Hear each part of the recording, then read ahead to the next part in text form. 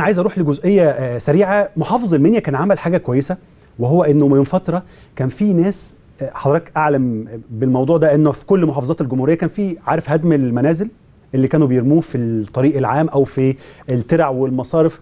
عمل غرامة آه، كبيرة جدا وصلت ل 15 ألف جنيه على العربية اللي تتمسك بترمي حاجة زي دي في مصرف أو في شارع أو كده.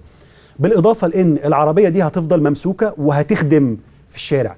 فبالتالي أنا لو أنا صاحب عربية هبكي بدل دموع دم علشان عربيتي قدام عينيا شغالة في تنظيف الشارع وأنا مش شغال عليها وشايفها بتعامل بشكل سيء قدامي.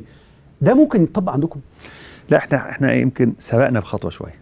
حلو. سبقنا بخطوه إن إحنا عندنا منطقة منطقة اللي هي اللي بقول لحضرتك هي المدفن اللي هي بنجمع فيه القمامه دي منطقة لحد ما واسعة عندنا يمكن حوالي أكتر من 70 فدان متاح. مهم. فقلنا نعمل مصنع بجانب ده نعمل مصنع تدوير مخلفات البناء.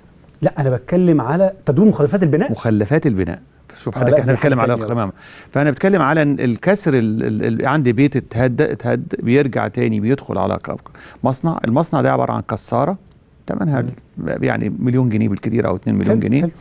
فبيعمل تكسير وغربلة للمنتج ده منه بيطلع منه زي بنسميه ركام أو زي الزلط والرمل كده بنقدر نعيده تاني في صناعة البلوكات أو ال- اللي إحنا بنسميها الحواجز أو البلدورات بتاعة الشارع يعني ما. بنعملش منها مبنى لكن بنعمل منها استخدامه مرة وحدات تانية. بدل. ما هو متكوم حجارة فوق. بعضها مش عارف تعمل فيها حاجة أصبحت بنطلع منه منتج مفيد دي فكرة جميلة جدا آه اللي هي ال- ال- الحاجات اللي هي ال- ال- الاواطيع اللي بنحطها في الشوارع الأرص...